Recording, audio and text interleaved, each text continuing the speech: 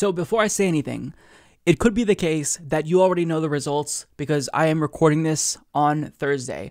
Uh, but if it is the case that the results hold as they currently are at the time I film this, then Donald Trump will lose. But I want you to know that this doesn't necessarily mean that it will be the end of Trumpism. For now, it may be the end of the Trump era, but since Trump has been so popular within the Republican Party, I think that his style of politics is going to live on. But it might not even be the end of Donald Trump because we are already seeing talks of Donald Trump running in 2024 before the results have been posted and before he's even conceded. Take a look. One other thing I want to note, Jake, and I think this is an indication of where things are heading uh, and, and the mentality that is taking shape inside the Trump campaign. There are some aides and advisors who are starting to talk about the potential, not only that the president is going to lose this election, but that he may mount some sort of resurrection run in 2024. Uh, this possibility has been discussed, I'm told, inside the Trump campaign by some aides and advisors, and that some have even talked about it with the president himself. That obviously is, is something that's way off into the future, but it's an indication that they're starting to feel like perhaps they're running out of time inside the Trump campaign, Jake. So um, that was interesting. I don't necessarily find it surprising, albeit it's still very interesting. Now, this does tell us that Donald Trump, regardless of what he says publicly, is reckoning with the fact that he may lose this election. So he can uh, tout his victories in states that have already been called for Joe Biden. He can claim that fraud was committed, but deep down, he knows he lost because he ran a terrible campaign.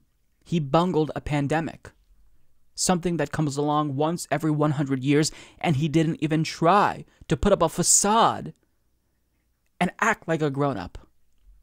This was his loss. So he knows that he's losing. It's sad that more of his supporters don't realize that everything he's doing now is all strategic and it's just bluster, but nonetheless, he does know. Um, now, whether or not this is true, it is. Because if people within Trump's inner circle, his advisors, are saying this, then, you know, it's happening. I don't know if they're putting this idea in his head or he's putting this idea in their head, but, you know, they're going to be gung ho on this because they really want to make sure they have a job lined up for them in a couple of years. So, of course, they're going to be on board. But Donald Trump, do we honestly believe that Donald Trump, being as attention uh, craved as he is, he would just like go away? Of course not. So I was already thinking if he loses this, even before this article came out, what's the odds that he runs for reelection? And I put it at like 40%. And now I'm moving that up to 60% because we're already hearing about it before he's conceded. So Donald Trump is uh, not going to go away anytime soon. And, you know, he can run. He's legally, constitutionally within his right to seek out a second term.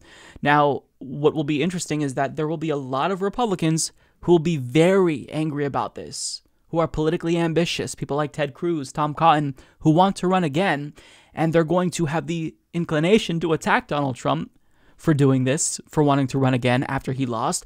However, they're going to have to bite their tongue because they know that if Donald Trump uh, decides to run, he's going to be very popular. Very popular because the base loves him. Now, I don't know if that will change between now and 2024. This is, you know, we're talking long, a long ways away. Uh, but it will be interesting to see the dynamic in the Republican Party because uh, they will not want this. I don't think the Republican establishment will want this, and I don't think any uh, Republican who wants to run for president is going to want this. But will they publicly attack Donald Trump? Don't think so, because now they're going to have to pretend to be the next Donald Trump if they want to be electorally successful in the next Republican Party primary. Ted Cruz, you know, he's already trying to position himself as this like uh, off the cuff, edgy outsider who's an agitator who, you know, clowns on liberals on social media. But uh, you can't be the next Trump while you're attacking Donald Trump because there's only one Donald Trump. So if your argument was going to be, I'm going to carry Donald Trump's torch, that's a little bit more complicated. You can't necessarily do that if he's running for president. So, look, um, this is a long ways away, but it will be very entertaining at least if Donald Trump is uh, going to seek out a second term in 2024. You could support the Humanist Report at patreon.com slash humanist report. But trust me, I'd have way more supporters on Patreon if that was my podcast. Sad.